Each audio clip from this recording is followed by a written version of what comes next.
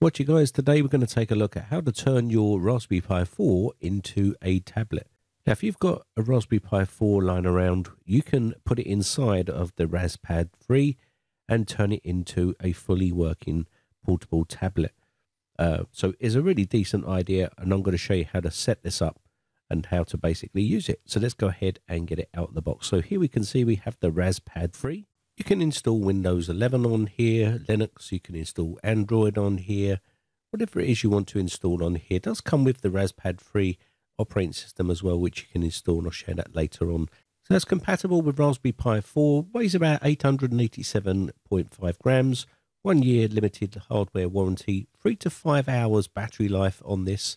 Does have an IPS panel on here with resolutions of 1280 by 800, aspect ratio 16 by 10. Now let's have a look at what we get in the box here. So you're going to get your user manual here. This helps you uh, basically set it up. It's really easy. It's got color pictures and shows you the cables that you need to connect to your Raspberry Pi and to the main board inside the actual unit itself. So this is everything you get in the box here, which we're going to be putting together. Don't worry, it looks pretty daunting, but it is very straightforward and easy to do. And I'll show you step by step, very easy. So you've got all your cables here to connect your Pi 4 to the board. You've got your micro SD card ribbon cable with your accelerometer in there as well. You've got your fan and you've got some screws inside here and some heat sinks for the actual Raspberry Pi and a screwdriver. So let's get started with this. This is the main unit here. See it's quite chunky.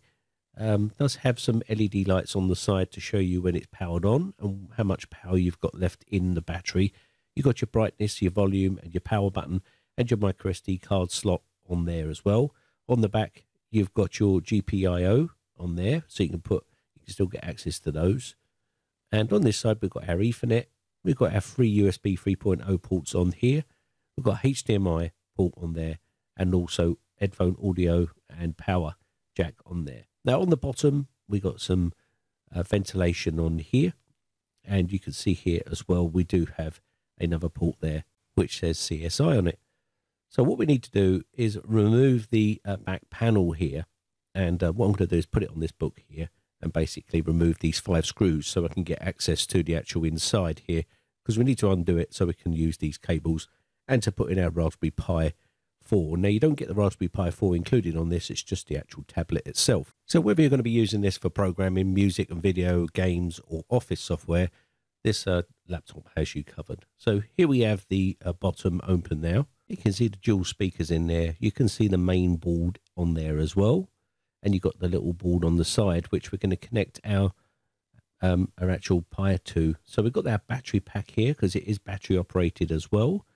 So here we have our main board and the Pi will sit right here. So let's go ahead and uh, connect all this up and I'll show you how easy it is. Very simple. So I'm going to put this down here and uh, get the Raspberry Pi 4 out. Now I'm using a Raspberry Pi 4 8 gigabyte version. So once we've got the Raspberry Pi 4 out, you can see it comes in a little box here. You can purchase these online and it's going to sit inside inside our actual unit here. So what I'm going to do is put the Ethernet cable in first and I'm going to plug in all of the cables here into the Raspberry Pi 4 before I screw it in there because I think it's just going to be a lot more easier because there's not a lot of room inside here. So I'm just going to put the USB extension cable in here. Make sure you get it around the right way. There we go. And once we've got those in, going to put the HDMI cables in and we've got the Type C connector in there as well. So try and speed this process up. And you need to make sure the HDMI connectors are in the right A and B section here because the cables are slightly different lengths so you can reach the main board. So make sure you get them in the right ones, otherwise you're going to end up with one shorter one and it won't fit. So just put the Type C connector in, and that's now all done. So we now need to get our ribbon cable here for our micro SD card slot and the micro accelerator in here that goes onto the board itself. And I'll show you how to put that on. It's very simple stuff. And this will help with the rotation of the uh, tablet. Now I'm putting the micro SD card ribbon cable here to connect it to the Pi 4. You really want to do this before you screw down the Raspberry Pi 4 because you won't be able to get access to the bottom of the Raspberry Pi 4 once it's screwed down, and it's going to be virtually impossible to get that ribbon cable in. So once I've got the ribbon cable plugged in onto the Raspberry Pi 4, I can now screw it down to the actual tablet. And there's four screws, so I just need to tighten these up. Once I've got the four screws in, I can then go ahead and put the ribbon cable in and also the micro accelerator here. So we're going to put that on as well. So Let's go ahead and do that. So it's just a pull up little catch for the ribbon cable and you just push it down, push the catch down.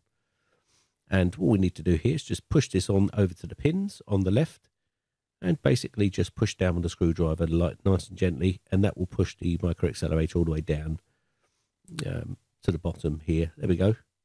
That's all now done.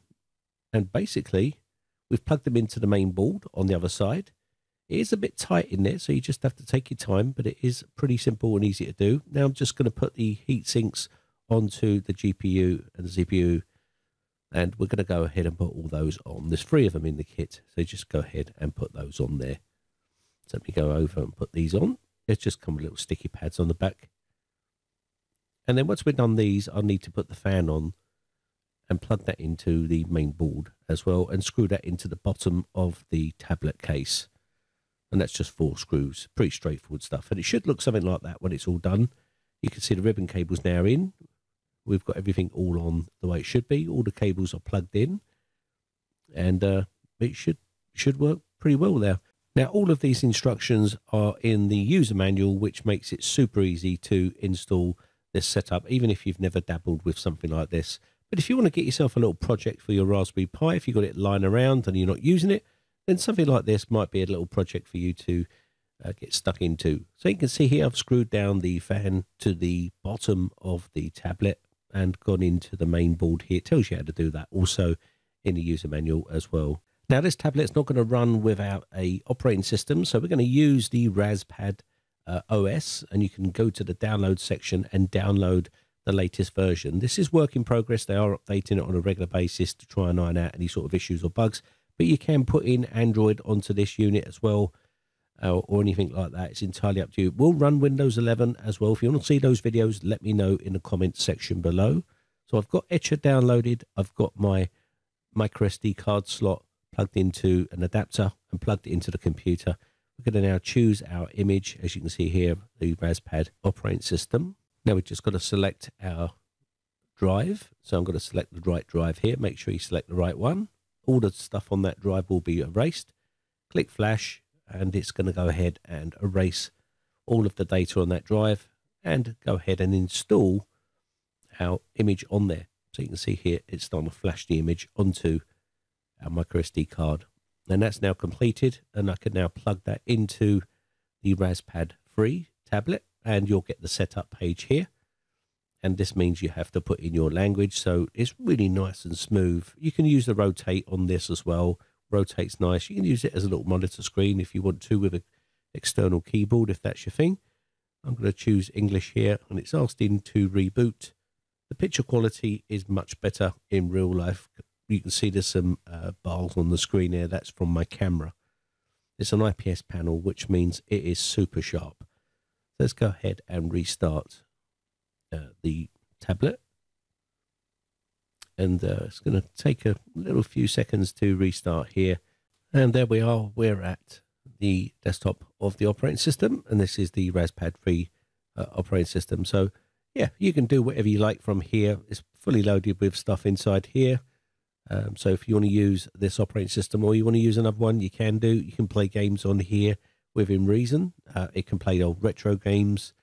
Um, if you want to run Android on it or Windows on here, you can do. Um, depending on what you want to do with yours, uh, you can do just about anything with this tablet uh, because it acts like a normal tablet.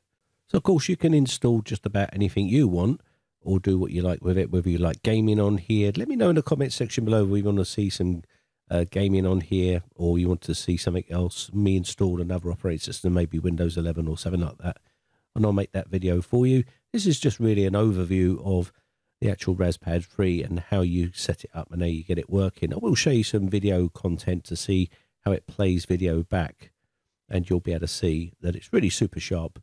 Um, I know the picture looks a little bit blown out on here and that's because of my camera, but it is super sharp. I can tell you when you're looking at it, in, in real person here. So let's go ahead and play some video footage here. So as you can see here, it's playing this video footage very easily. And uh, you can go on YouTube, you can do all that sort of stuff with this tablet as well. And uh, yeah, pretty smooth as you can see here, no problems at all playing this video. So maybe you've got some movies you like to play, some movies on here, or maybe you like to do some gaming or something like that, or coding, then by all means you can use this tablet for whatever you like. It is quite chunky, uh, but again, it's got a Raspberry Pi inside there, so it's amazing what you can do with these Raspberry Pis nowadays. So if you're looking to get yourself something like this, then I'll leave all the links and information in the video description. Anyway, I think that's going to be about it for this video. My name has been Brian from briteccomputers.co.uk. Just want to say a big shout out to all my YouTube members who will join my YouTube members group. I really do appreciate the support, and I shall see you again for another video real soon. Thanks again for watching. Bye for now.